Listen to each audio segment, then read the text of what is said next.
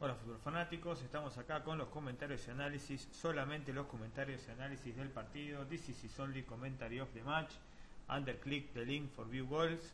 Abajo tenés el link para ver los goles con que el Colonia en el Rhein Energy Stadium empató 1 a 1 con el Hannover 96.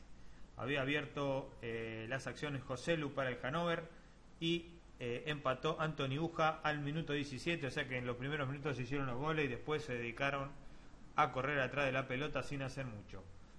Eh, algunas situaciones de, gol hubo, pero ah, no, no, seamos malos.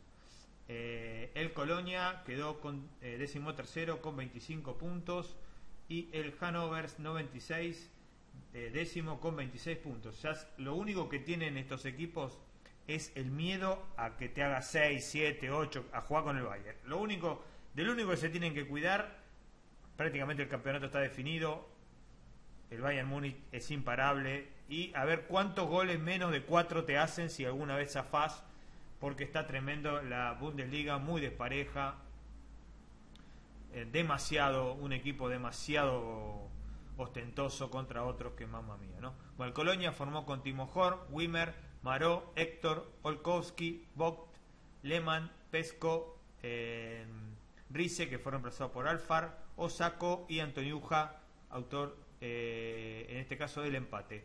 El Hannover 96 fue con Ron Robert Sieler, Salif Sané, Marcelo, Mico Albornoz, reemplazado por Christian Pander, Joao Pereira, Lars Stiedl, Maurice Hirsch, eh, Seihun eh, Hulselam, eh, Leonardo Bittencourt, reemplazado por Edgar Priv, Jimmy Brean y José Lu, autor del gol ahí de entrada en los 5 minutos de partido.